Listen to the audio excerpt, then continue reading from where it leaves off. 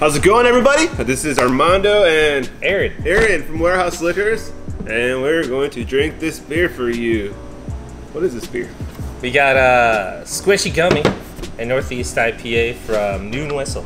Northeast, aka New England style. And um, yeah, Noon Whistle, small little brewery out of Lombard, Illinois.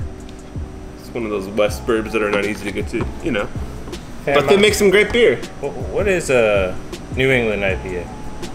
New England style. Mm. It's referencing the wave, that newer wave of IPAs, these hazy, cloudy IPAs that originated in that area the past five years or so.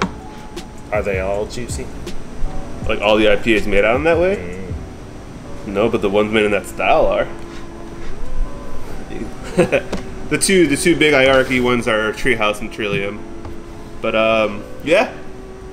If you don't know, that's a huge style in the current craft beer market. These hazy, juicy IPAs that we drink a lot of. Really cool tops. Yeah, so these guys have the 360 lids that just peel completely off.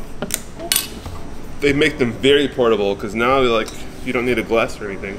You have a perfect vessel. Oh, we getting rid of that? But we're gonna pour it. Oh. Well, let's just pour, let's pour a little bit for the color.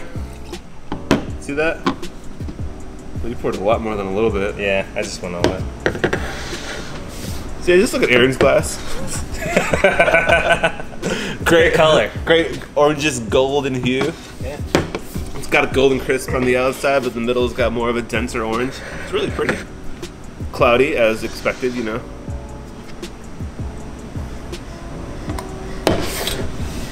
So this is their squishy gummy. Gummy is their series of the style.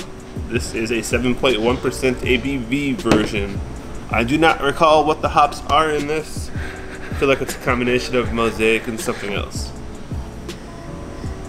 smells like mosaic. But uh little little grassy herbaceousness, but a lot of fruit. Like pungent.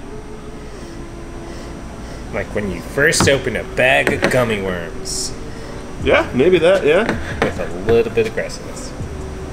Definitely gra- there's like a Like a a tropical punch I was gonna say too. grassy pineapple. Yeah, pineapple for sure.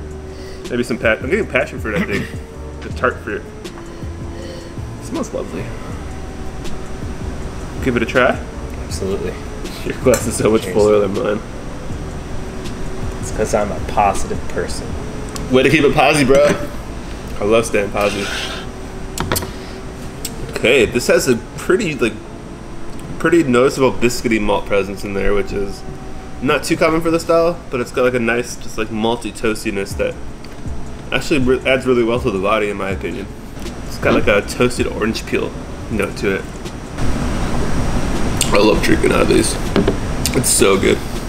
It definitely has like a body to it, like you said, uh, like almost like a viscosity, but still really light. Um, does have a really long finish to it. I find it short. Really, Yeah. I guess there's But- parts of it that stick around, but I feel like the biscuity part is kind of hanging on my tongue, but not in a bad way. It's, it's good. like a like a grilled pineapple, maybe. Mm-hmm. Maybe not charred, but like slightly grilled. All right, this is a very tasty, refreshing, fruity, hazy IPA that is definitely a crowd pleaser. It retails for $15.99 in a four pack of 16 ounce cans with a fully removable top. That's amazing. Did you pour it off? But you can't But- put it back in. Well, it's not resealable. Why would you want to reseal it? because you're gonna drink it. It's not like, that uh.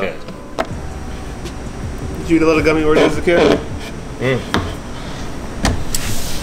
I always felt it was discriminating against gummy bears because they were bears. Gummy bears are cool too. They're made from the same company. What do you mean discrim? What discrimination? But you always like the worms better because there's usually two colors to a worm. Do you like them better? Yes. Good variety. Do you prefer regular or sugar coated? I like the regular ones, honestly. Me too. Yeah, the sugar coated is too much.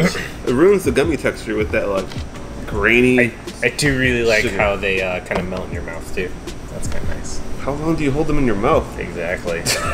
Uh, so I'm gonna test out the uh, the drinking fast method out of the can while Aaron's gonna do it out of the glass. The drinking fast method. Drinking fast method. Okay. Let's see how, how limited I'll be. I don't know. You won't be able to see my progress, but Um, scientifically documented. I'm like halfway. Little, maybe like 55%. But, uh, Noon Whistle, thanks for making great beer. Thank you. And cheers.